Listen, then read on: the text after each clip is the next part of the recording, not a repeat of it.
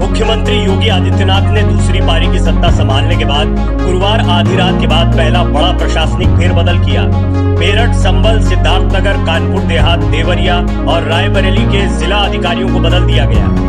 सूत्रों ने बताया, मेरठ, देवरिया, रायबरेली के जिला अधिकारियों को हटाकर प्रतीक्षा रद्द कर दिया गया है, जबकि कई जिलों में डीएम को दूसरे ज़िले की भी कमान दी गई है।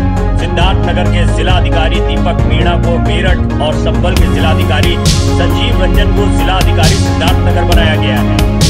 नगर आयुक्त मेरठ मनीष बंसल को डीएम संबल के पद पर भेजा गया है। देवरिया के डीएम आशुतोष निरंजन को हटाकर प्रतीक्षा रद्द कर दिया गया है। कानपुर देहात के जिला अधिकारी जेपी सिंह को देवरिया का डीएम बनाया गया है। नेहा जैन जिला अधिकारी कानपुर देहात होगी। जिलाधिकारी मेरठ बालाजी प्रतीक्षा रद्द कर दिए गए हैं। विशेष सचिव आवास माला श्रीवास्तव को जिला अधिकारी रायबरेली बनाया गया है। जिला अधिकारी रायबरेली वैभव श्रीवास्तव प्रतीक्षा रद्द कर दिए गए हैं। प्रतिनियुक्ति से लौटकर बलकार सिंह को एमडी जल निगम ग्रामीण बनाया गया है। अनुराग यादव को सचिव नगर विकास से हटाकर सचिव कृषि की ज़िम्मेदारी दी गई है। समीर वर्मा सचिव लोक निर्माण को हटाकर सचिव समाज कल्याण बनाया गया है। सुरेश चंद्रा से अपर मुख्य सचिव नियोजन और कार्यक्रम क्रियान्वयन का चार्ज ले लिया गया है। चंद्रा अपर मुख्य सचिव श्रम बने रहेंगे। खास बात यह है कि सरकार ने ये तबादले आधिकारिक रूप से जारी नहीं किए हैं। हालाँकि जिलों व स्थानांतरित अधिकारियों ने ये जानकारी साझा की है। मुख्यमंत्री के सचिव आलोक कुमार को महत्वपूर्ण ज़िम्मेदारी दी गई है। आलोक कुमार कार्यक्रम क्रियान्वयन का पूरा चार्ज देने के साथ साथ नोडल ऑफिसर 10 खरब डॉलर अर्थव्यवस्था बनाया गया है। योगी सरकार ने अगले पाँच वर्ष में देश की अर्थव्यवस्था को इस चुनौतीपूर्ण लक्ष्य तक ले जाने का संकल्प जताया है।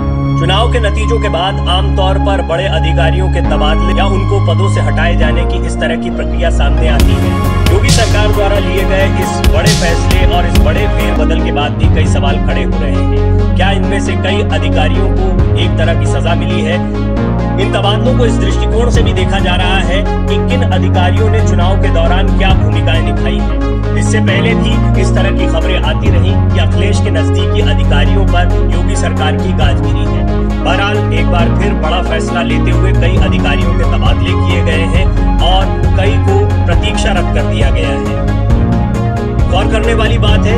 आदित्यनाथ इस बार पूर्ण बहुमत के साथ एक बार फिर मुख्यमंत्री बने हैं। उनके सामने चुनौतियाँ बड़ी हैं। उन्होंने अपने सौ दिन का एक्शन प्लान भी सामने रखा है। और साथ ही साथ प्रधानमंत्री मोदी की कई योजनाओं को अब वो पुरजोर तरीके से आगे बढ़ाने में लगे हुए हैं। 2024 के पहले उनका मकसद है उन नतीजों को भी सामने रखें। इस दृष्टिकोण से भी इन फैसलों को देखा जा रहा है। Video desk Amar Ujala dot com download करें अमर उजाला ऐप। और पाए खबरें लगातार। अगर आप ये वीडियो YouTube पर देख रहे हैं तो हमारे चैनल को सब्सक्राइब करें और बेल आइकन को दबाना ना भूलें। अगर आप Facebook पर यह वीडियो देख रहे हैं तो हमारे पेज को लाइक करें।